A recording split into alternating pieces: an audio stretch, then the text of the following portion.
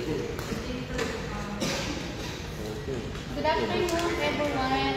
Um, before I introduce myself, remove ko muna tong ating face mask para magkaintindihan ko. My name is Jeneline Panganiban, sales consultant of Hyundai Alabang. And our dealer location is Hyundai Alabang, Commerce Avenue, Tilindes, Muntinlupa City. Ayan. Um, welcome to our showroom.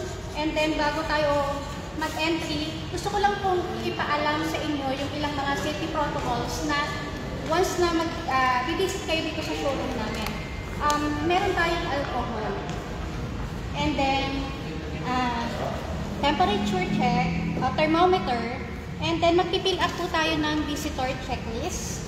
Ayan. And then, gusto ko lang po i-implement sa inyo na lahat po ng mga employee dito is fully vaccinated na. So, don't worry po, wala na po tayong dapat ika-worry kasi vaccinated na po kami lahat.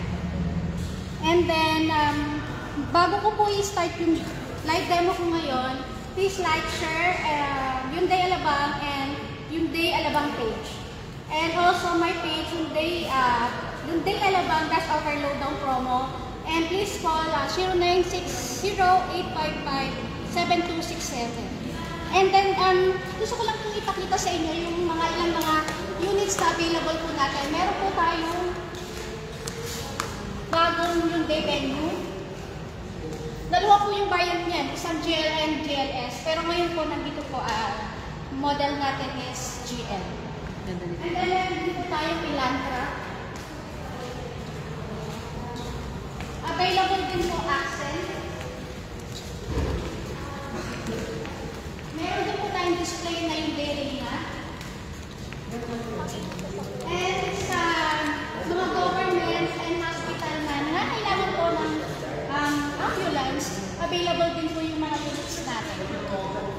For the truck and buses, available din po ang HD65. Ayan, may mga display po tayo. And um, available pa rin po yung Hyundai Tucson. So doon po sa mga promo natin, may mga partners banks po tayo like BDO, BPI, RCBC, at marami pa po iba. So may mga promo po tayo. So ngayon po, please like, share, and tag po sa Hyundai Alabang and Alabang page. So proceed po tayo dun sa unit na ita-demo natin.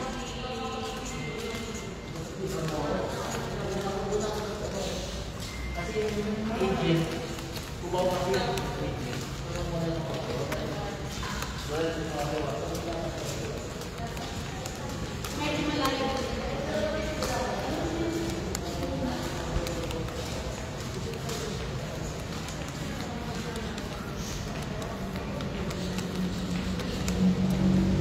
So, ito po yung unit na itadamo natin.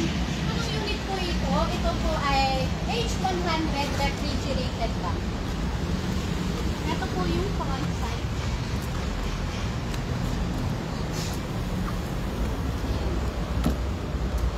H100 refrigerated van.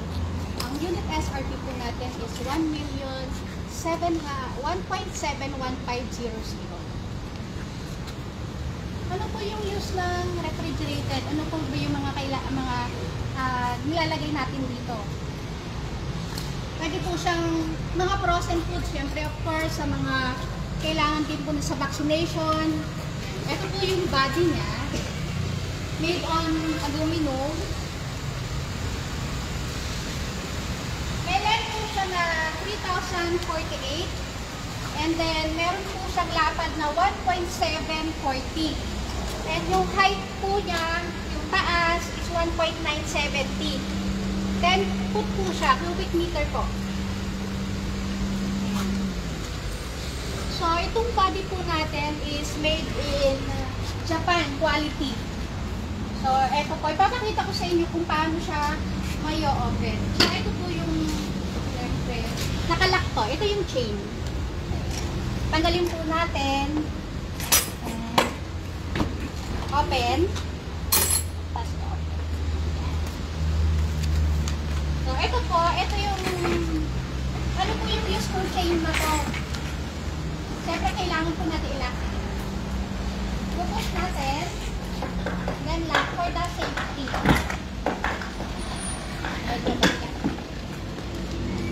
Pakita ko po sa inyo yung loob ng refrigerator pa natin. Ayan.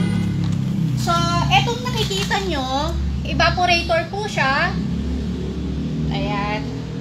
And then, etong flooring niya is um, made in aluminum.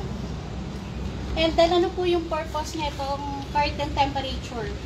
Ayan, para dun sa pag naglo-load po tayo, yung plastic curtain is para ma-repunch yung temperature ng mga item natin. Hindi mahirapan yung motor. Ayan. Ito, ang tawag dito is aluminum checker plate para hindi po siya madulas. Ayan. And then itong, eto naman po siya is bump guard. Ayan. Tapos, para po natin may open, etong flap. Line lang po natin.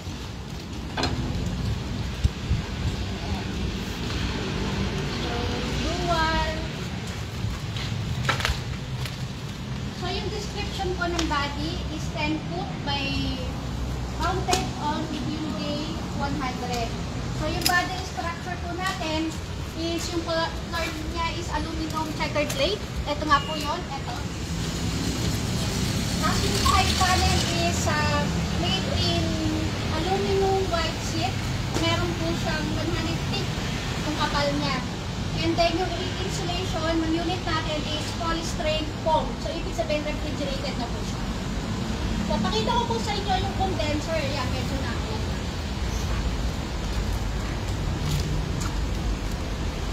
So ito po yung condenser ng ref van. Ang brand po niya is Thermal, Thermal Master 1.00 F2. Ayan siya. Andito po naman sa sa passenger side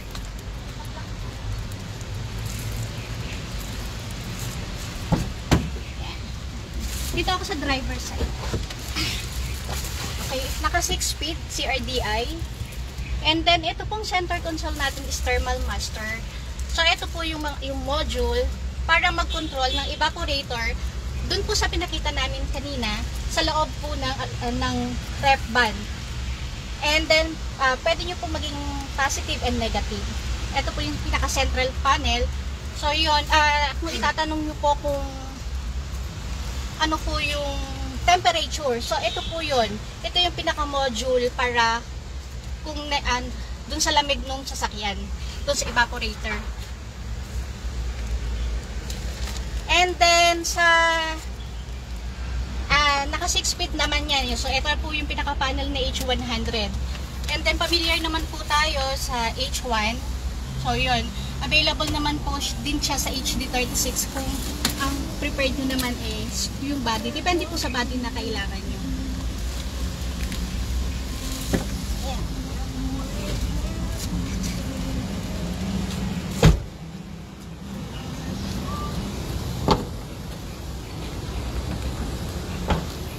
Regarding po dun sa basic warranty ng truck natin is 3 years or 100,000 kilometer whichever comes first.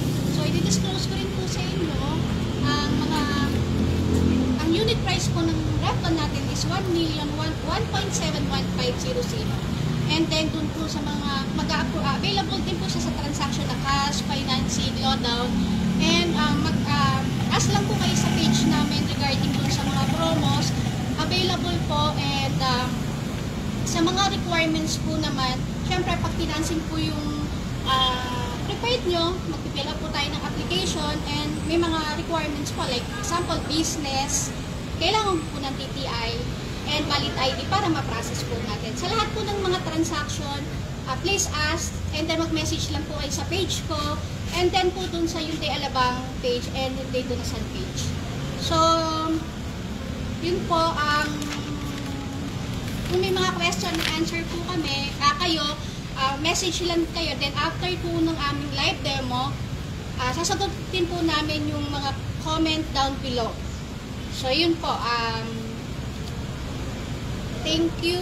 And, um, i-invite lang po namin kayo this coming Friday na may chance po kayong manalo ng Gcash Ampaw. So, meron po kaming live ng Wednesday and Friday. Twice a week po yun. So, yun lang po. At uh, maraming salamat po. God bless. Ah, uh, Doon po sa mga, may mga tanong ka sa, uh, message lang po kayo dun sa quotation and mga promos namin. Yun. And then, thank you and God bless you.